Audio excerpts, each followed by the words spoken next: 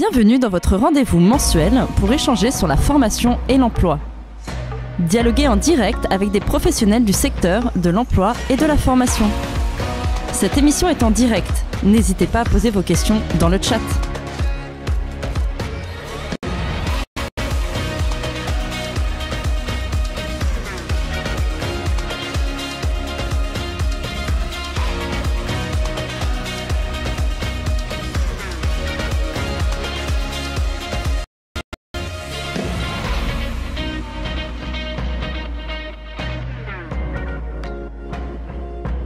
Les Mardis Live, une émission proposée par Academy. Bonjour à tous, merci beaucoup d'être en direct avec nous euh, sur Facebook ou sur LinkedIn. Aujourd'hui, j'ai l'honneur et le plaisir d'accueillir euh, de ponte, de ponte de, euh, des réseaux sociaux Laurent Garouste, DG, directeur de J'ai un pote dans la com. donc un média sur tous les réseaux sociaux, vraiment présent un peu partout. Quasiment. Quasiment. Et euh, Jonathan Noble, donc euh, DG aussi de Swello, euh, outil de programmation et plein de choses euh, qui Mhm. permet qu'on utilise aussi chez Academy. Euh, donc merci beaucoup à vous deux d'être euh, aujourd'hui euh, avec euh, avec nous et avec euh, notre communauté qui nous suit. On va être ensemble pour une demi-heure, 45 minutes à peu près. Donc n'hésitez pas à poser vos questions en commentaire concernant vos réseaux, les réseaux sociaux, ce qu'on peut en faire, comment les utiliser, gérer sa communauté. On va parler un peu de tout ça. On va peut-être dériver sur des sur des thématiques. En tout cas, l'intérêt c'est c'est d'interagir avec vous. Donc pour commencer, déjà, Laurent, est-ce que tu peux te présenter? Oui, bah Laurent, donc tu m'as déjà introduit, Laurent Garousse. euh, donc j'ai fondé effectivement, euh, j'ai un pote dans la com euh, il y a 10 ans. Donc on est un média euh, B2B euh, sur le marketing, la publicité, la créativité, vraiment la communication euh, dans son ensemble. Euh, on est aujourd'hui une petite équipe de 7, un petit peu moins que Swello. On essaye, on va essayer de les rattraper rapidement. Et, euh, et voilà, donc on essaie de nourrir notre audience en information euh, sur le secteur de la communication, du marketing, et on travaille avec bah, des agences, euh, euh, avec Academy aussi, euh, et, euh, et voilà, on essaie d'apporter un petit peu de valeur à tout ce secteur et, et créer une sorte d'émulsion dans, dans le monde de la communication. Super. Bah, merci beaucoup Bah, pour euh, Merci cette pour présentation. l'invitation d'ailleurs. Un plaisir. Et euh, Jonathan, du coup, est-ce que tu peux te présenter? Bien sûr, bah pareil, hein, merci pour l'invitation, c'est vraiment très chouette. Euh, je m'appelle Jonathan et donc je suis CEO et cofondateur de, de Swello. Euh, Swello, c'est une plateforme qui permet aux communicants à gérer au mieux leurs réseaux sociaux. Mm. Donc on va leur permettre via notre plateforme de faire de la veille, de la programmation et de l'analyse sur Twitter, Facebook, LinkedIn euh, et Instagram. Et donc aujourd'hui, on a euh, 80 000 utilisateurs, 600 grands groupes, euh, dont le gouvernement français. Ça, c'est Oui, euh, la dernière. euh. Vraiment, bravo, j'ai vu passer ça. euh, Euh, mais plein d'autres grands groupes. Hein. Voilà, on a plein de, euh, de, de, de grands noms. Enfin, on a Sony par exemple. On peut avoir bah, vous notamment Oui, également, hein, également. Euh, donc voilà. Et euh, juste un petit mot sur sur le parcours. Moi, j'ai commencé quand j'étais tout petit, justement, avec cette idée-là de, de programmer des tweets à l'époque. ouais. Et puis de fil en aiguille, bah, le projet est passé de l'idée au projet, du projet à une boîte. J'ai rencontré mon associé, puis on est passé de deux à trois. On a fait une levée de fonds dans le sud de la France, puisqu'on Ouais. est basé à, à, Toulon, Toulon. comme vous également. Euh, et puis après de trois donc à six, six, sept, et donc là, bah, dernièrement 10. Donc voilà, c'est tout jeune aussi, hein, bien sûr, on grandit petit à petit. Mm. Mais en tout cas, euh, voilà ce que c'est Swello et, et le, le parcours rapidement. Bah, merci beaucoup hein, de partager vos expériences. Euh, déjà, première question, on parle euh, réseau social, euh, réseaux sociaux, etc. Euh, quelle est votre définition justement du réseau social? Euh, Jonathan, si tu veux commencer. Carrément, alors ça peut-être en, comment dire, en étonner certains, mais je, je vais me baser sur des exemples. Et pour moi, typiquement, Facebook n'est plus un réseau social. Ah bon? Euh, pour moi. Pourquoi? Alors un réseau social, qu'est-ce que c'est? Bah, C'est un peu nous, un- là aujourd'hui, hein, quand on partage une info, quand on, on, on se nourrit les uns les autres, Mhm. euh, puisque derrière, bah, une fois qu'on aura fini ce moment-ci, peut-être qu'on va en parler chacun de notre côté, donc on va transmettre cette information. Pour moi, c'est un peu ça un réseau social. Et Facebook ne l'est plus parce que, ben, enfin pour moi, parce qu'avant, quand euh, par exemple je likais euh, un, un des posts, Oui. ben, toute ma communauté pouvait le voir. Aujourd'hui, c'est un petit peu le cas, mais c'est marqué sponsorisé juste en dessous. Voilà. Euh, pour moi, un réseau social, ça peut être LinkedIn. LinkedIn, Oui. où quand on publie un post, euh, on a cette chance-là euh, d'avoir ce côté viral qui peut arriver assez rapidement, même si on a 2000, 3000 personnes dans notre communauté, Mhm. on peut potentiellement toucher euh, Exactement. 10 000, 100 000 euh, personnes, et c'est assez fou. Euh, pourquoi? Ben Parce qu'il y a de l'engagement, donc des likes, des commentaires, des partages. Donc voilà un petit peu pour moi ce que c'est un réseau social, et euh, mes préférés aujourd'hui, ça va être du Twitter ou du LinkedIn. D'accord. Twitter, j'ai un peu du mal. C'est assez je spécifique. trouve que c'est assez clivant euh, Twitter parce que j'ai toujours, c'est ce que je disais, j'ai toujours cette euh, impression de, de louper des informations en fait sur Twitter. Parce qu'il y a tellement de rapidité, euh, la durée de vie d'un tweet est beaucoup moins importante que la du, enfin que euh, comme tu parlais de LinkedIn, c'est vrai que LinkedIn, des fois un post qu'on a mis il y a une semaine, Ouais. Il suffit qu'une personne ait commenté, que sa communauté l'ait vu et paf, ça devient viral. Alors que Twitter, euh, si on n'est pas dans les tendances, c'est euh, assez C'est l'instantané. Ouais, C'est- exactement. C'est le but, ouais, effectivement, de, de Ouais. ce réseau qui est un peu différent sur les autres réseaux où, comme Mm. tu le dis, voilà, ça m'est arrivé récemment, un post, ça faisait euh, deux, trois semaines qu'il était publié, et il a repopé. Euh... Voilà, quelqu'un l'a liké, l'a Ouais, commenté. exactement. Ok, bah merci pour ta définition. Et euh, Laurent, toi, euh, ta définition du, Bah, moi, du je réseau re- social? Je rejoins euh, Jonathan sur euh, bah, l'aspect d'interaction en fait. S'il n'y a pas d'interaction, et je pense que c'est pour ça que Jonathan dit que Facebook Mm. est plus trop un réseau social, c'est que finalement ouais, on a un peu tué l'interaction. Quand on met des infos, à la limite, ça devient juste un mur. Il y a des infos, on les Ouais. consomme ou pas, mais on va pas créer de, de ouais d'échange. Donc Mm. s'il n'y a pas d'échange, c'est pas forcément euh, pas d'interaction sociale. Donc est-ce que Mm. c'est un réseau social? Non, ça devient juste un outil éventuellement de veille, de bench. C'est ça, ça devient peut-être ouais. un outil de veille aussi. Ouais, vrai. c'est ça, Ou de groupe, euh, de, de communauté en fait. Ouais. de- Enfin, nous, tous les gens avec qui on travaille, Facebook, bon, bah, on y est pour y être. Euh, le live sur Facebook, on le met parce que bah, ça coûte pas grand chose de le mettre en plus sur ouais, et puis, Facebook. euh, Euh, on touche peut-être un petit peu de monde, mais, euh, mais finalement, euh, et je pense que c'est arrivé un petit peu euh, à la période de- du, du Covid, Mm. où nous, on a vu un gros, un gros drop aussi sur, euh, sur, les, sur les statistiques sur Facebook. Donc, ouais, je rejoins un peu Jonathan sur la- l'aspect euh, interaction. Quoi. Si finalement, il n'y a pas d'interaction, est-ce que c'est vraiment un réseau social? On peut se poser la question. Et puis, euh, pour ce qui est de Twitter, ouais, c'est un peu comme YouTube. Quoi. Tu, tu sais quand tu viens, tu sais jamais quand tu repars. ouais, c'est- Euh, alors ça. que c'est vrai qu'il y a des réseaux un peu comme LinkedIn où on va peut-être plutôt aller checker euh, oui. souvent, mais euh, voilà, en général, on arrive plus, plus facilement, À en moi sortir. perso, à en sortir Ouais, qu'un YouTube ou un Twitter. c'est vrai, c'est vrai. Après, Et, euh, oui, sur, sur Facebook, euh, c'est peut-être aussi une histoire de cible, dans le sens où euh, j'ai l'impression qu'il y a quand même une mutation euh, des, des usages, quoi. Ouais, où on va moins, même nous, enfin, nous on y est pareil, hein, parce Ouais. que on se dit bon, Faut quand être. même avoir une présence, etc. Mm. Mais on voit très bien que euh, la, la cible derrière, la communauté, euh, pas du tout la même quoi, Mm. que sur les autres réseaux. Exactement. Il y a aussi ça, je pense. Ouais, elle, l'est plus, mais je pense que c'est c'est l'arrivée des autres réseaux sociaux, Ah, complètement. justement, qui a fait que Mm. c'est pas la cible qui a forcément bougé sur Facebook, c'est juste Mm. que l'arrivée de nouveaux réseaux bah, a fait qu'il y a eu une désertation de- d'une certaine partie de la cible. Et Ils ont perdu des abonnés là, en plus euh, Facebook. Ouais, bah là, ils ont des, petits, des petites Ouais. choses avec des, petits Ouais. sujets avec l'Europe. euh, ouais. Mais, euh, mais ouais, je pense que c'est euh, bah, l'arrivée de nouveaux euh, entrants. Euh, Facebook, peut-être qu'il n'avait pas euh, anticipé Mm. des nouveaux formats, des nouvelles euh, manières de consommer euh, Mm. les contenus sur les réseaux sociaux et qui a fait que bah, dès qu'il y a eu des nouveaux entrants, on s'est dit, oh tiens, il y a de la lumière, j'y vais. Mm, sûr. punaise, la communauté grossit beaucoup, l'algorithme fait que je suis mis en avant, je Exactement. touche beaucoup plus de monde, donc mon contenu, je vais plutôt le travailler pour une autre plateforme. Exactement. Et finalement, bah, ceux qui restent, je vais pas dire que c'est les plus lents ou ceux qui bougent le moins, mais finalement, c'est un peu ça, en Mm. fait. Finalement, c'est que si on s'est pas renouvelé dans les temps, bah, on est avec notre compte Facebook et puis on n'a pas encore les autres comptes et on se dit, bon, euh, C'est tout, ça. le monde est, tout le monde est sur Instagram, TikTok, euh, LinkedIn, euh, Mm. Pinterest et j'en passe. Et, et puis, donc voilà, c'est peut-être un peu à l'image aussi de, de la manière de, de se réinventer bah, des entreprises. Mm. Mais quand on se lance justement, quand on a une entreprise et qu'on veut se lancer sur les réseaux sociaux, c'est important de faire ce benchmark en fait, de savoir quel réseau social va peut-être être le plus adapté Mm. à mon domaine d'activité. Euh, ma communauté, elle est présente sur quel réseau social Si c'est plus, euh, bah voilà, des jeunes de, de 15 ans, bah peut-être que Facebook c'est peut-être pas le meilleur. euh, et puis c'est vrai qu'avec euh, la montée en puissance de Twitch, euh, il y avait des choses comme ça. Donc euh, c'est vrai que Après, ça reste quand même un, un gros groupe et il y a, il y a des choses à faire sur Ah, bien Facebook. sûr. Hein. Ils ont Non, une non, bien sûr. quand même surpuissante. Complètement. euh, Enfin, tout n'est pas à, à- Ah oui, à non, jeter, non, faut mais- pas déserter. et ça a été les premiers Facebook, quand mais- même un peu. euh, Enfin voilà. faut, Ouais, ouais, ils ont euh, ouvert la voie aux autres. Mm. Donc, euh, Mais c'est vrai qu'il y a eu un gros shift quand même. Et, et du coup, euh, tes réseaux sociaux préférés? À moi perso, Ouais. euh, ça va être LinkedIn euh, et Instagram pour les reels et, et voir des mèmes. D'accord. voilà, pour- C'est vrai que LinkedIn, je trouve que euh, ils ont toujours été là et euh, ils ont toujours su s'adapter. Je sais pas ce que vous en pensez, hein, mais ils ont toujours su s'adapter. Même encore maintenant, ils apportent de nouvelles fonctionnalités, etc., etc.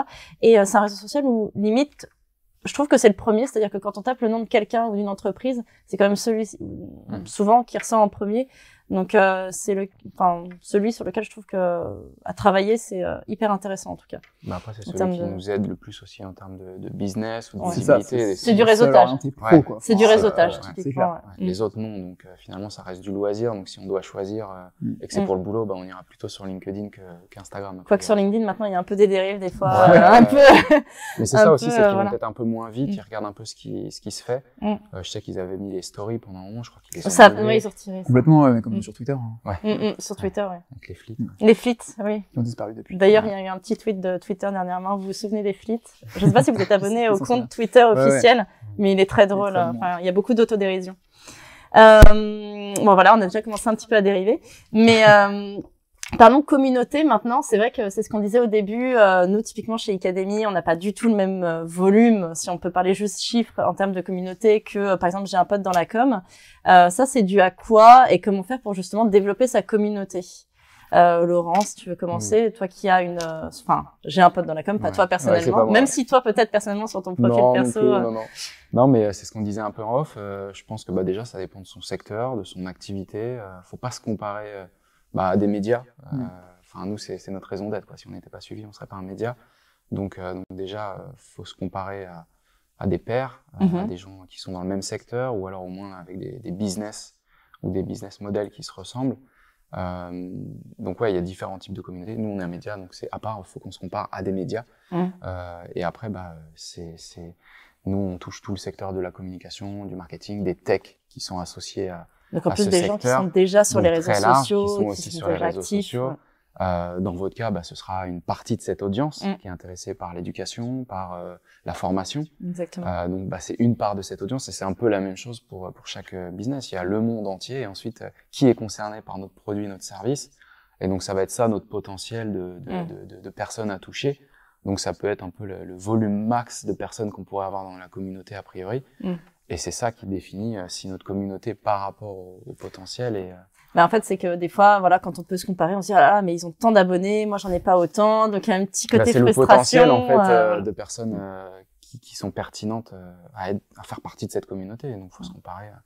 voilà, s'il y a 100 000 francs, enfin, ouais, euh, 60 millions, 70 millions de Français, Mm. bah, on touchera que si on cherche Quelques à toucher les Français, bah, voilà, on ira chercher un pourcentage de cette de cette population, quoi. Et, euh, et toi, Jonathan, est-ce que tu as des conseils sur, par exemple, euh, de ton expérience, comment développer sa communauté, euh, des petits tips, euh, parler de ta communauté aussi euh, qui suit euh, Swello Ouais, carrément. Après, euh, moi, la question que je peux me poser aussi, c'est faut-il se comparer Oui, euh, c'est vrai. Finalement, euh, faut peut-être faire aussi son chemin. euh, Mm. euh, pour rebondir sur ce que tu disais tout à l'heure, euh, aussi euh, ne pas aller partout forcément. Hein. Euh, déjà, ça prend du temps, Mm. ça demande des ressources, de la réflexion. C'est pas du tout les mêmes codes et les mêmes cibles sur chaque réseau social. Mm, mm. Donc euh, moi mon conseil, enfin un des, des premiers conseils que je peux donner, c'est euh, aller là où il y a nos cibles, potentiellement également nos concurrents. Ça permet de voir un peu ce qui s'est déjà fait, ce qui a marché, pas marché. hein, des fois euh, c'est aussi intéressant et pas forcément être partout. Euh, nous, no- de notre côté, hein, chez Swello, on est sur principalement quatre réseaux sociaux. Mhm. Euh, donc, ça va être du Twitter, Facebook, LinkedIn, Instagram. On teste pas mal TikTok parce qu'on Oui. y croit énormément. Puis, on est devenu partenaire TikTok il y a quelques, bah, maintenant un an, un an et demi. Donc forcément, ça nous pousse aussi à tester ce réseau social. Pinterest marche, marche aussi bien, euh, même si c'est pas encore le réseau social central sur lequel on est. Mais je pense, voilà, il faut euh, pas forcément être partout. Euh, et puis après, ben, deuxième conseil, mettre en place une stratégie. Euh, stratégie éditoriale et Mm. penser fortement à, euh, au recyclage. Mm. Euh, nous, euh, j'adore ce qu'on fait à ce niveau-là. On crée un contenu par exemple sur Instagram avec un Ouais. carrousel ou alors un post qu'on va prendre, qu'on va mettre à disposition de notre équipe, qui sera repartagé sur LinkedIn avec euh, un avis personnel à chaque fois qui sera différent. Oui. Puis on va peut-être aussi le reprendre, le transformer en podcast, après peut-être en vidéo TikTok de quelques secondes. Mais la base, vraiment la réflexion du début, c'est toujours la même. C'est toujours, je sais pas, la santé mentale, enfin une thématique quoi qu'on prend et qu'on va essayer d'explorer. Donc ça, c'est un peu le deuxième conseil, c'est en plus de penser à un calendrier éditorial, Mm. ne pas hésiter à recycler son contenu pour faire grandir sa communauté. Et puis après, ça prend le temps que ça prend. Oui, Euh, voilà, faut laisser faut aussi, pas, euh, on en parlait tout à l'heure également en off, euh, faut pas forcément être déçu d'un poste qui ne prend pas, qui prend, euh, puisque comme tu le disais, hein, des fois on travaille beaucoup sur un élément Ouais. et un peu déceptif Ouais. derrière. Là, je- enfin, moi j'ai en tête une, une tribune que j'ai pu rédiger, au final, pas qui a fait un flop, mais qui a bien moins marché que ce que j'aurais pu Mm. imaginer ou souhaiter. Et bon, bah c'est comme ça, hein, c'est-à-dire qu'on essaie hein, d'apporter de la valeur. C'est aussi un troisième conseil. Hein. Mm. Vraiment apporter de la valeur et donner, donner, et un jour, bah voilà, ça, ça reviendra vers notre, Mm. vers nos pages, vers nos profils sociaux. Euh, donc, euh, donc voilà, ouais, c'est toute une réflexion, une stratégie, mais sur du long terme. Mm. Et euh, c'est quand même assez rare, je trouve, que quelque chose se passe sur du court terme. Donc vraiment, voilà, créer quelque chose, Mm. s'entourer. À moins d'être Et- un influenceur et de faire un partenariat, Bien il y a- sûr. voilà, il n'y a pas. Mais voilà, là, encore une fois, je trouve que c'est pas la même. Du coup, euh, c'est pas moins comparable, quoi, voilà, sur sur du B2B, sur du pro. Euh, mais voilà, c'est trois petits conseils en tout cas pour pour commencer.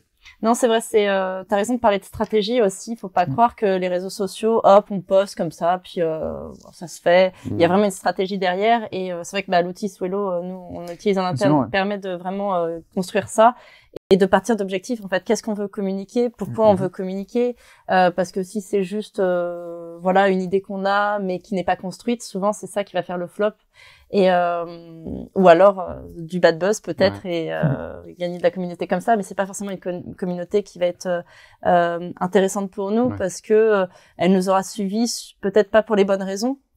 Donc je trouve que, enfin moi c'est mon avis. Après vous me dites ce que vous en pensez, mais une communauté euh, intéressante, c'est celle qui est engagée, celle qu'on fait participer, qui nous fait nos retours aussi. Euh, voilà, qui nous. Peut-être que des fois on se dit ah bah tiens ça ça va être un super post et en fait on se rend compte qu'on n'a pas l'audience derrière. Mais pourquoi? Peut-être qu'on l'a pas programmé au bon moment.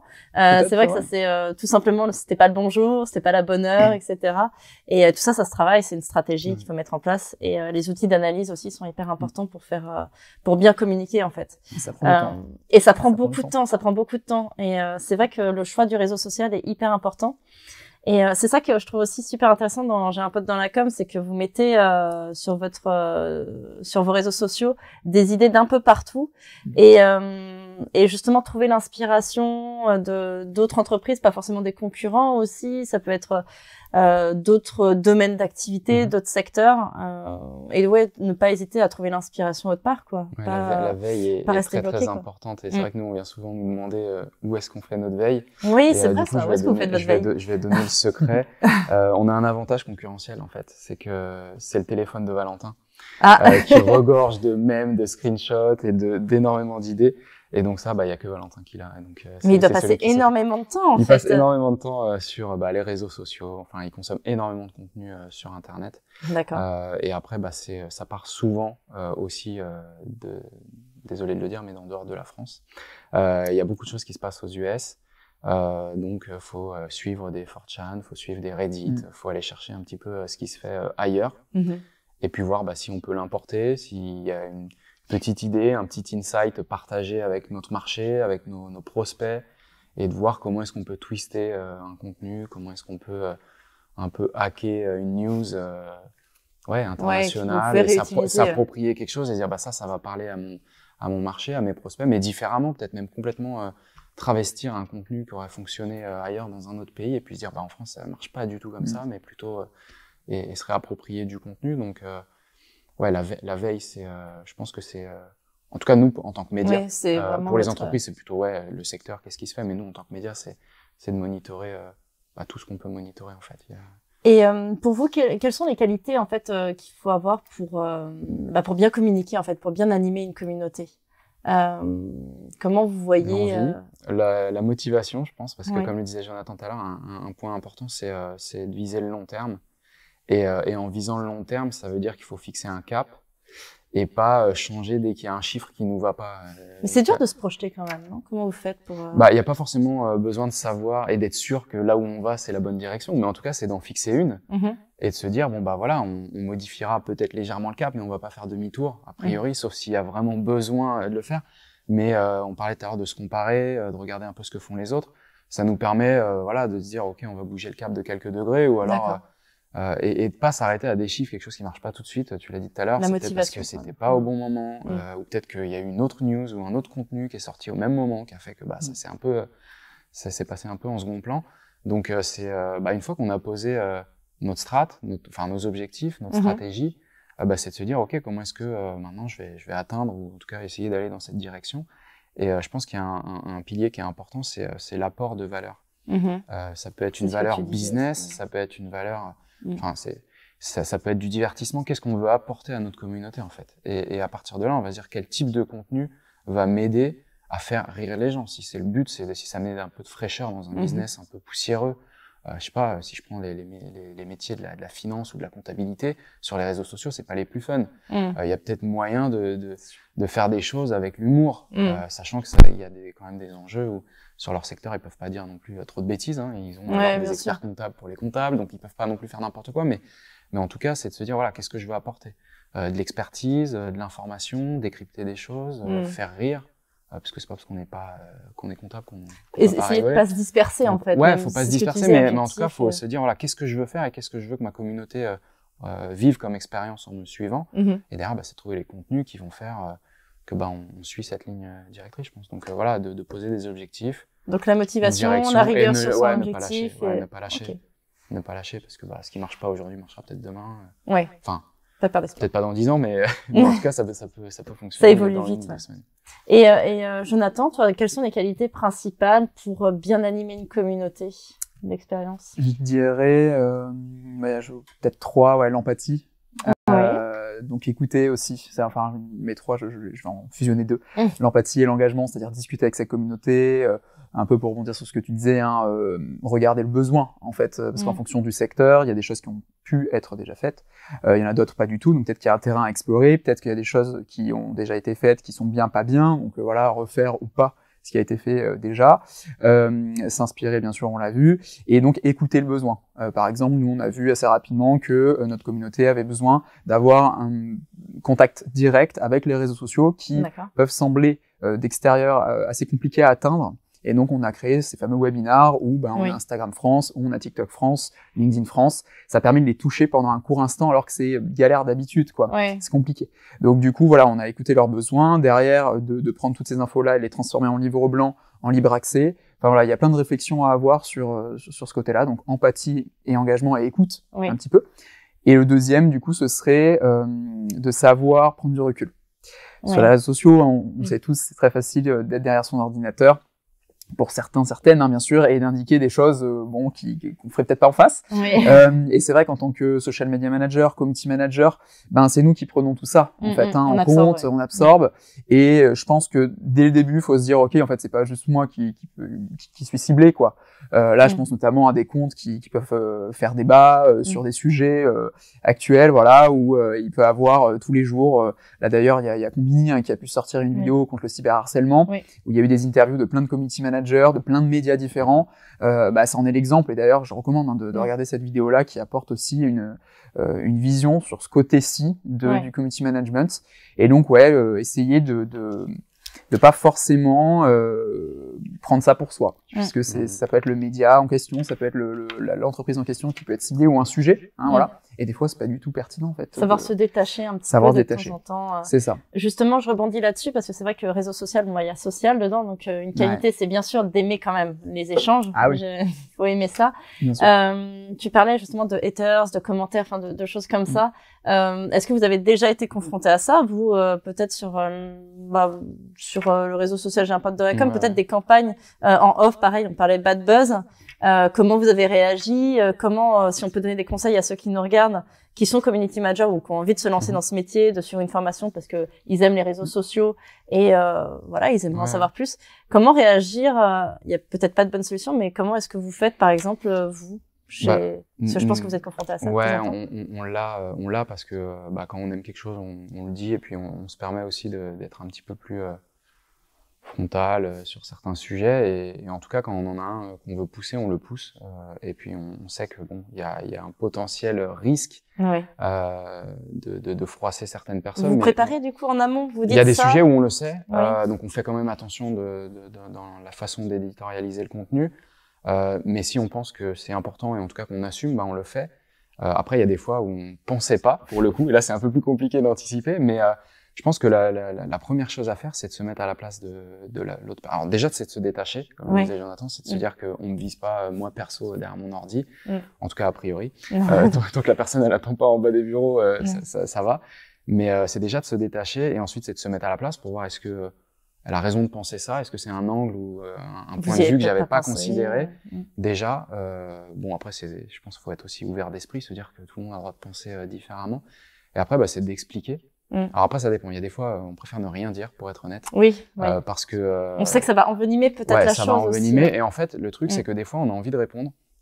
Sauf que c'est ce que je disais en off, on sait très bien que ça va mener nulle part finalement, parce que c'est Oui. une différence de point de vue, Mm. et qu'on va mettre en avant avec les algorithmes un contenu qui n'a pas spécialement besoin d'être Mm. plus visible que ça. Ça ne veut pas dire que le sujet ou, ou la- ou le questionnement de la personne qui, qui engage avec nous euh, euh, n'est pas intéressant. Mais c'est que ça va donner énormément de visibilité à quelque chose qui est, un, pas représentatif de, de tout ce qu'on fait, parce que ça va être peut-être euh, 5% de- du type de contenu qu'on partage. Euh, ou dans un autre cas, bah, c'est que ça va euh, mettre en lumière un contenu, alors qu'il y en a d'autres qui sont juste euh, dingues. Ouais. Donc des fois, on a juste envie de dire, alors là, vous vous êtes arrêté sur un post parmi euh, 100 posts qui parlent de cette thématique. Par contre, euh, on vous a pas vu commenter sur tous les autres. quoi. Donc si vous voulez donner de la visibilité à un post, allez le faire Et plutôt puis, sur les euh, posts positifs. Ouais, Mais c'est comme ça dans la vie. En général, les commentaires euh, négatifs pleuvent et puis ça. le positif, il y en a un peu moins. Heureusement, il y en a un peu. Parce qu'il y a deux types d'engagement. Il y a ceux qui partagent, parce que des fois, vous avez des contenus peut-être qui n'ont pas besoin d'être commentés, où on a juste envie de partager parce qu'on trouve ça génial. Et puis, il y a du contenu où là, on a plus envie d'apporter Ouais, il y a du support et puis ouais, il y a, il y a- il y a plutôt du débat. Ouais. Euh, alors c'est bon d'avoir aussi du débat parce que ça donne aussi des, des, des indices, des Mm. indicateurs sur euh, ce qu'attend la communauté. Parce que finalement, même s'il y a une différence de point de vue, bah déjà ça peut Mm. aussi euh, peut-être impacter euh, la manière d'éditorialiser un contenu. Et puis bah ça donne quand même des, des petits euh, des petits signaux faibles sur euh, ce qu'attend la communauté Mm. finalement. C'est ça, les signaux faibles aussi. Et Enfin, est-ce que bah faut bouger le cap et se dire attention quand on traite de tel sujet, on va le faire de telle manière? Euh, ou au contraire, euh, non, on change pas le cap parce que euh, c'est assumé, c'est voulu et Je- je- ça me fait penser provoqué. justement, euh, tu as, utilisé le terme algorithme. Euh, maintenant, sur les réseaux sociaux, euh, il y a beaucoup de choses. On parlait des choses, des fois ça fonctionne pas. tu passes du temps à faire quelque chose et ça fonctionne pas. Euh, est-ce que vous avez des les algorithmes? Est-ce que vous savez comment ça fonctionne? Des conseils à donner euh, justement pour euh, les influencer, pour être plus visible Peut-être que toi, Ah, euh, Jonathan, là. Jonathan, tu es c'est lui qui les manipule. alors, est-ce que tu peux nous aider euh, à tous les community managers qui nous regardent ou qui travaillent dans la com euh, Qu'est-ce qui fonctionne, qu'est-ce qui fonctionne pas? Peux en parler des heures, c'est c'est Ah. assez, euh, Alors, assez si tu peux en parler de d'être 5 concis. minutes, c'est... Euh... On essayer d'être concis, mais euh, alors déjà, ce qu'il faut savoir, c'est qu'il y a des réseaux qui vont en parler très librement. TikTok l'a fait très oui, très rapidement. où ils ont dit bah voilà nous ça fonctionne de cette façon-là euh, euh, rapidement sur TikTok Mm. donc en clair c'est on publie un contenu qui est analysé par un, un algorithme qui va le pousser à des personnes qui potentiellement vont l'aimer suivant différents critères la musique le texte l'environnement les objets tout ça derrière c'est montré donc disons à 10 personnes et si ça plaît à ces 10 personnes c'est montré à 100 si ça plaît à ces 100 c'est montré à, à 1000 10 000 et c'est comme ça qu'on a fait sans le vouloir euh, une vidéo à 3,2 millions de vues improbable et c'est comme ça après qu'on a réussi à détecter justement cet algorithme là D'accord. donc voilà, TikTok après l'a, l'a l'a publié très clairement. Oui. Il y en a d'autres, il y a d'autres réseaux qui sont peut-être un peu plus opaques. Euh, notamment, on va avoir de l'Insta, du Facebook. Quoique Insta commence à en donner quelques infos quand même. Euh, sur Twitter, bah, pas d'algorithme dans Oui. le sens où bah, c'est juste une timeline. En, voilà, hein, on, on affiche les, les posts les plus frais, entre Mm. ceux qui viennent d'être publiés. Euh, donc, euh, pour globaliser, pour pas pour pas y passer des heures, euh, je pense que la clé c'est l'engagement. Euh, c'est, euh, bah, tu l'as un petit peu dit, créer du débat, euh, avoir des commentaires, des partages, des réactions. Après, il y a des finesses en fonction du réseau social, forcément. Euh, là, par exemple, c'est expliqué dans nos livres blancs, euh, où il y a vraiment tout qui est expliqué pas à pas. Euh, mais le, le cœur du sujet, c'est apporter de la valeur. On l'a déjà dit deux trois fois. Apporter de la valeur, euh, avoir de l'engagement, et ça va donner un côté viral un petit peu au poste. Mm. Ça le- le- lui permettre d'être un petit peu plus visible. D'accord. Ouais. Ok. Bah merci pour ces conseils parce que des fois c'est vrai qu'on qu'on sait pas trop quoi. C'est euh, alors nous on parle beaucoup de l'heure, de la date. euh, Bien ça sûr. peut y jouer Il y a vraiment. plein de paramètres, hein. Mm. plein de paramètres dont, dont l'heure, dont la date, mais euh, mais pas que. Euh, Voilà, donc euh, bon, c'est à tester aussi. Enfin, c'est ce que ce qu'on disait tout à l'heure euh, Mm. quand tu disais, bah on va vers dans une direction, on teste et puis on ajuste. C'est exactement ça, pareil sur les réseaux. Euh, on n'aura jamais les mêmes communautés les uns les autres, donc il faut Oui, tester, aussi. voir là où ça prend, ça prend pas. Comme pour les haters, nous, bah en fait, on n'en a pas parce qu'en fait, c'est pas du tout euh, euh, sujet à, Oui. à haters. Enfin, je veux dire, euh, on essaie de monter une communauté avec nos clients, nos utilisateurs, les personnes qui aiment le social media. Mm. Mais c'est vrai que il y a assez peu de sujets où il y a des, des gros gros débats où des gens peuvent s'énerver quoi. Donc euh, il y a pas mal de bienveillance, mais c'est parce qu'on n'a pas du tout les mêmes communautés. Donc euh, je pense que la clé sur aussi les algorithmes, hein, c'est tester, tester, tester à des horaires, à des jours différents, sur des sujets différents. Euh, Enfin voilà, il y a Ouais. plein, tout en gardant une stratégie. Mm. Et après une période d'analyse. Tout à l'heure tu disais, Oui. euh, voilà comment vous faites pour savoir si ça ça marche ou ça marche pas. Bah, nous sur TikTok, on s'est dit on teste pendant un mois, on fait un point et on a ajusté, on est reparti pendant un mois, on fait un point, on ajuste, etc. D'accord. Bah oui, ça demande du travail. Hein. C'est vrai que, enfin, C'est un vrai travail. C'est un vrai travail. Euh, et je vais parler un petit peu formation, hein, mais c'est vrai qu'il y a, y a quand même, euh, c'est un métier qui s'apprend en expérimentant, c'est sûr, mais il faut quand même avoir des bases, des bah, voilà, de si c'est un métier qui nous intéresse, se former. bah, c'est vrai que chez Academy, on peut permettre à ces, à ces personnes qui sont intéressées de se former du bac au bac plus 5. il y a, on peut aller jusqu'au bac plus 5, c'est vrai, hein, parce que devenir expert dans ce domaine, c'est un métier très vaste et qui, je parle, je dis un métier, mais il y en a plusieurs hein, même dans ce métier. On parle community manager, mais il y a aussi euh, tout ce qui est back office un peu, euh, euh SEO, SIA, c'est des termes tout ça euh, qui font un peu peur quand on connaît pas, mais dans lequel on peut se former pour justement devenir efficace aussi. donc passer quelques étapes. Des fois, on peut passer beaucoup de temps à expérimenter et des fois, on peut griller quelques étapes si on a quelques tips.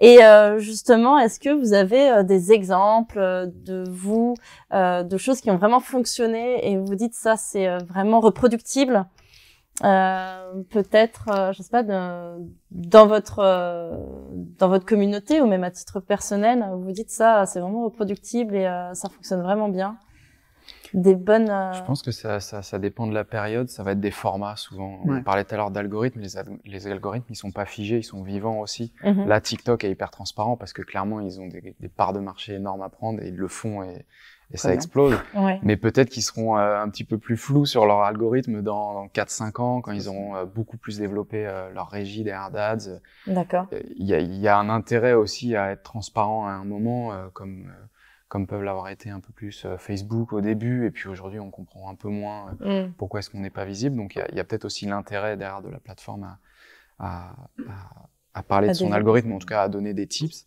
Euh, et puis pour revenir sur les, les, choses qui fonctionnent, ouais, ça va dépendre du format. Je pense qu'il faut, euh, faut pas avoir peur d'aller tester. Euh, Jonathan mm. l'a dit tout à l'heure, aller sur TikTok, tester, regarder. Euh, quand on est les premiers, souvent on est beaucoup mis en avant. Oui. Il y a eu Clubhouse, donc ça c'était une, une bonne niche, euh, un, un, bon réseau à aller explorer. Aujourd'hui, je ne sais pas, honnêtement, je suis pas euh, personnellement. Euh, Moi, Clubhouse, euh, j'ai été à fond dedans au début. Je pense que c'était l'effet confinement aussi. Ouais. Euh, je trouve ça vraiment génial et j'avoue que là, euh, j'ai totalement délaissé en fait. Tu résumes bien la situation. Ouais, on est d'accord. non mais en France, c'est vrai qu'il y, a eu, ouais. il, y a eu, ouais, il y a eu un gros boom en fait au début. Ça marche très bien dans d'autres pays aujourd'hui. Hein. Il y a eu un gros boom au tout début et aujourd'hui, ben le fait qu'il le fait que c'était bloqué que Apple aussi au début alors voilà pour moi ça, a été un mauvais move de la part de Clubhouse maintenant on n'est pas dans leurs équipes dev etc mm. mais c'est vrai qu'en face on va avoir euh, d'autres réseaux bah, dont LinkedIn on en parlait tout à l'heure qui, oui, qui, permet agit vite hein, et donc qui va commencer à faire des room audio mais surtout Twitter ouais. qui a euh, donné accès très rapidement euh, justement Totalement à Twitter copié. Spaces euh, donc aux personnes qui avaient un iPhone comme un Android enfin comme mm. des Android quoi donc du coup ben ouais face à ça Clubhouse qui n'avait pas de communauté au début hein, qui a Mm. du tout créé à partir de zéro a peut-être eu un poil plus de mal à rester dans la durée. Par contre, au début, ça a fait un gros boom. Ah ouais. Puis il y a eu aussi l'effet euh, confinement. Le confinement où on avait le temps, on était en télétravail. Avait. euh, C'était la période du Mm. couvre-feu et moi j'ai Mm. vraiment remarqué un déclin de l'app euh, dès que le couvre-feu a été levé quoi. Puis l'été est arrivé, enfin voilà, Mm. il y a eu plein de, de choses. Maintenant, c'est surtout en France. C'est-à-dire que dans d'autres pays, ça cartonne vraiment. Ouais. Ouais. Euh, mais je pense que ça montre aussi quelque chose, c'est que tous les réseaux sociaux euh, plutôt euh, orientés sur du vocal, avec les podcasts hein, qui prennent Mm, de mm. plus en plus d'ampleur, Exactement. Ouais. mais également voilà bah, Spaces peut-être demain euh, le- les LinkedIn euh, audio Mm. euh, ben ça quand même c'est quand même une voilà quelque chose qui qui montre que ça prend de l'ampleur quoi. Mm. tout ce qui est vocal ça prend de l'ampleur Qu'est-ce que vous pensez de Twitch? C'est un peu euh, parce que je- je- j'en ai entendu parler euh, vraiment euh, parce que c'est un réseau social vraiment de gamers à la base. Hein. Moi, je connaissais pas ce jeu, je suis pas une gameuse, mais il y a pas mal d'entreprises ou de même de personnes individuelles qui se sont mises dessus pour faire des lives. Qu'est-ce que quel avenir vous voyez? Et puis après, on va justement parler de l'avenir un peu des réseaux sociaux. Mais euh, votre avis sur Twitch? Moi, j'adore Twitch. Ah oui, Euh, c'est vrai? ouais, Franchement, j'aime beaucoup Twitch. Euh, je trouve que c'est une plateforme intéressante. Oui, alors, on n'y est pas forcément. Enfin, on a une chaîne Twitch d'accord. et, et on diffuse assez peu de contenu. On n'a pas encore vraiment trouvé le vrai format. Encore une fois, c'est qu'est-ce qu'on a raconté. quoi. C'est pas y Mm. aller pour y aller. Oui, c'est ça. On n'a ouais. pas encore Mm. trouvé de ligne édito propre à Twitch parce que la communauté Twitch sera différente. De, de, enfin, une partie de notre communauté pourrait être sur Twitch, mais pas, pas la totalité. Donc, euh, euh, moi, ça m'intéresse dans le sens où je sais pas, c'est un peu à la croisée de la télé, euh, du, Ouais. de- de- du net, enfin pas du Netflix, mais euh, mais un peu du à la demande Oui. euh, et, et de YouTube. Euh, donc j'arrive pas encore trop à savoir dur à- les, les usages qu'il y aura demain de Twitch, mais je trouve ça hyper intéressant. C'était à la base pour les gamers, enfin Ouais. utilisé par les gamers. Euh, donc déjà on a découvert que euh, les gens avaient envie de regarder d'autres personnes jouer. Mm. Donc déjà on a découvert quelque chose, donc ça je trouve ça juste dingue. Et puis même vrai. moi maintenant, avant je me disais ouais c'est quoi l'intérêt? Je me retrouve à regarder Twitch des fois le soir quand je sais pas quoi faire. Euh, Il y a aussi le le, le, le, fait que dans des entreprises arrivent dessus. Je pense qu'il y aura des usages qui vont peut-être se créer. Euh, euh, Twitch, euh, on regardait des gens jouer. Maintenant, il y a des chaînes qui cartonnent. Ça s'appelle just just talking. Quoi. Enfin, on vient juste, on se connecte, on allume la cam, on est live, on ne sait pas encore forcément ce qui va se raconter. Euh, bah, c'est un peu comme aussi un peu l'intérêt. Ouais, c'est un peu aussi l'intérêt. On, on, invite des gens. On est là, on pourrait le faire sur Twitch. Ouais, c'est ça, tout à fait. Euh, et puis, bah, les gens vont interagir avec nous. C'est mm. surtout ça, en fait. C'est, on va casser un peu le lien, euh, comme le webinar et le live, comme on le connaît mm. sur les réseaux sociaux, où on va plutôt faire un live avec les gens. Quoi. Ils sont calés dans leur canapé. Et derrière la télé, c'est nous. Sauf qu'ils peuvent nous faire parler, ils peuvent nous interagir. Peut-être des choses à dire aussi. On peut faire des jeux. Donc c'est mm. pour ça que je le, je le, mélange un peu à la télé, au, mm. au, YouTube, parce qu'on peut aussi apprendre des choses. Enfin, mm. je sais pas trop ce que ça va donner, mais je trouve que c'est hyper passionnant. Ton avis, euh, Jonathan, Ouais, bah, je, vous rejoins. Moi, je pense que c'est quelque chose qui est déjà en train, en fait, de, de, de, de grandir. enfin, pour compléter ce que tu disais. Quand on voit les chiffres de la communauté, c'est énorme. les chiffres sont, sont, assez forts. On a maintenant de la presse qui s'y met. Euh, on a maintenant euh, bah, des personnes, des acteurs comme Hugo Décrypte qui va venir avec les émissions, euh, enfin ou, bien d'autres. Hein, mais je sais que maintenant on peut se faire un programme entre guillemets euh, Twitch euh, une fois par semaine et avoir sa petite émission comme la télé, mais à demande, enfin sur mmh. demande quoi, comme du Netflix sur ce que tu disais. et puis je pense qu'un des points positifs aussi de Twitch, c'est le modèle économique, notamment pour les créateurs de contenu. C'est vrai que là, ben, on peut euh, envoyer des subs, quoi. On peut voilà s'abonner, mais avec un côté financier aussi derrière.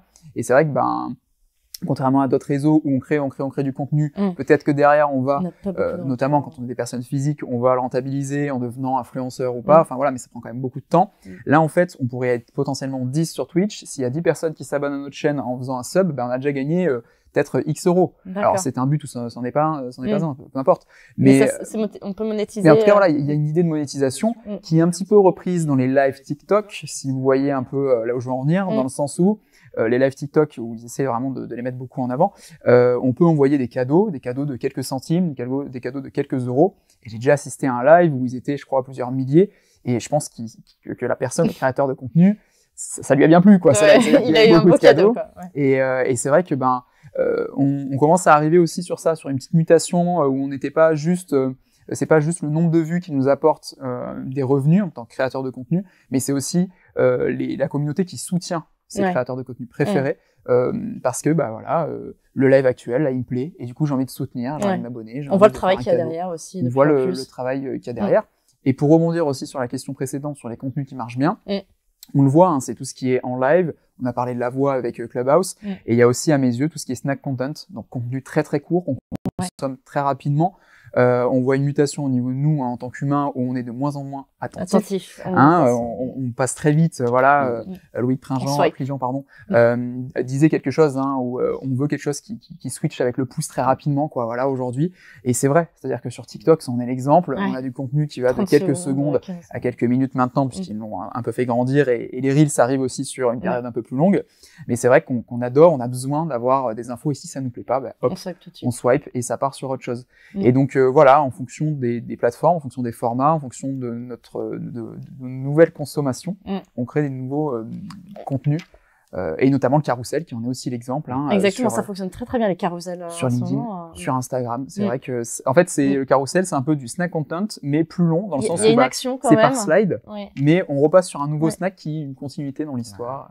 Mais, mais, je trouve un peu cette, ce côté rapidité. Maintenant, on perd un peu en fidélité quand même euh, bah, les gens limite ne retiennent pas trop qui a publié quoi voilà des fois surtout sur TikTok euh, c'est vraiment ouais, surtout sur TikTok après c'est pas la même mm. cible non plus même si aujourd'hui avant on pouvait penser qu'il y avait beaucoup de jeunes Aujourd'hui, TikTok même le dit, hein, il y a euh, beaucoup plus de ah personnes bah qui ont plus de 20 ans que, que moins de 20 ans. C'est, enfin, voilà, on, y est de plus en plus. Mm. Euh, maintenant, alors oui, et à la fois, bah, c'est à nous en tant que marque, en tant que média, d'essayer d'être le, le, plus visible possible sur tous les canaux. Euh, sans pour autant, comme on le disait au début, aller partout. Mais c'est vrai que nous, je sais que chez Swello, une de nos règles, c'est qu'il faut qu'un de nos prospects nous voit une fois par jour, quel que soit le, le, canal. Un webinar, un, livre blanc, le calendrier mm. social media, euh, je sais pas, euh, nos réseaux sociaux, euh, un live, peut-être ici avec vous. voilà, le, but, c'est d'être visible partout pour qu'on arrive à nous retenir. Oui, exactement. Ben, La récurrence aussi.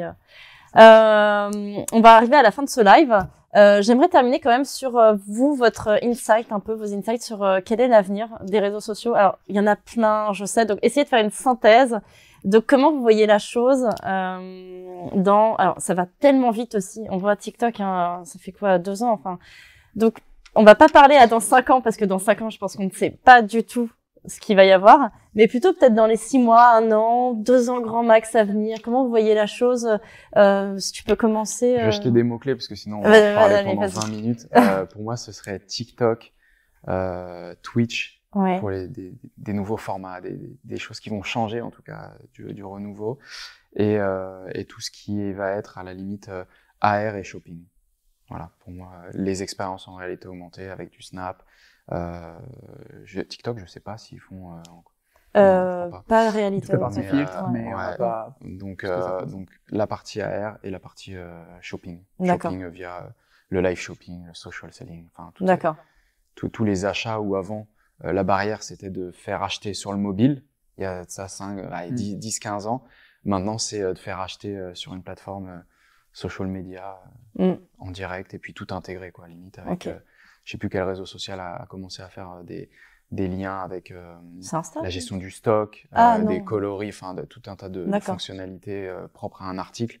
Bon bah l'idée c'est que le paiement, la carte bleue soit dans le Mm. dans TikTok et puis qu'on puisse acheter. L'instantanéité même ouais, de voilà, l'achat. je pense quoi, que ça, ouais, je pense que ça va être l'achat. euh, D'accord. des Très bien. à- à regarder. On verra, on se rappelle dans. Et euh, Jonathan, du coup. Non, mais franchement, tu as déjà bien résumé la situation. je pense la vidéo, ça va continuer aussi à voilà, être assez présent. L'audio aussi, de plus en plus. Mais c'est vrai que j'allais dire pareil. Hein, euh, je crois beaucoup en TikTok quand même. mhm. Euh, on a également aussi potentiellement un nouveau réseau social qui arrivera un jour. Je ne sais pas lequel, mais c'est vrai que TikTok est arrivé. euh, Ouais. Ok, bon bah voilà. Euh, Il y en a qui vont aussi peut-être mourir. Hein, on l'avait avec d'autres réseaux. Voilà, donc on ne sait pas trop finalement Mm. de, de quoi demain sera fait parce que ça va tellement vite Mm. que tout peut arriver. Mais globalement, je te rejoins sur tous les points que tu as pu citer. Ce que j'allais dire. Bon, pour finir, euh, je vais finir sur les formations, que c'est hyper important aussi de se former et d'acquérir les compétences qui nous permettent d'être euh, efficaces au sein d'une entreprise. Hein, euh, voilà, parce que c'est bien aussi de faire partie d'une équipe communication dans laquelle on a chacun des compétences qui permettent de, de bien communiquer sur son réseau. On a des formations d'infographistes pour tout ce qui est visuel, tout ce qui est UI design, pour euh, voilà le visuel. euh, vous avez parlé de, de, de tout ça et c'est hyper important pour l'avenir. Tout ce qui est chef de projet digital. Il y a des stratégies, il y a des objectifs à atteindre et tout ça, ça se construit et d'avoir des bonnes bases aussi pour bien construire ça. C'est important de se former là-dedans. Et donc du bac au bac plus 5, donc euh, n'hésitez pas à demander des renseignements à nos conseillers qui, euh, qui pourront vous renseigner là-dessus.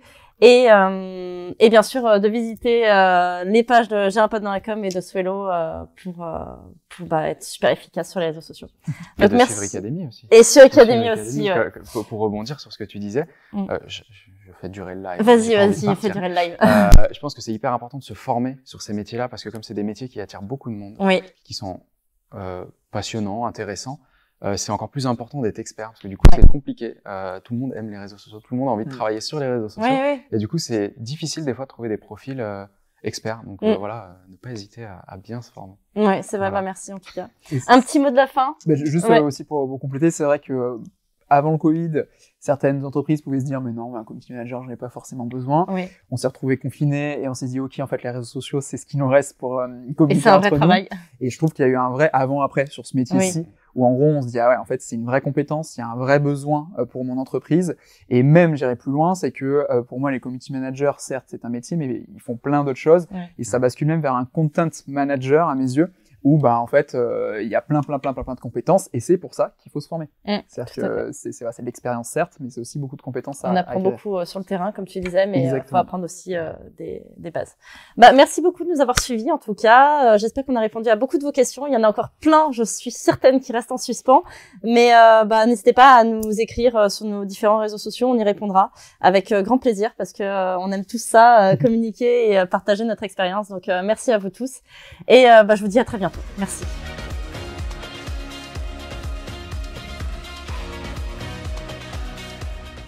Bienvenue dans votre rendez-vous mensuel pour échanger sur la formation et l'emploi.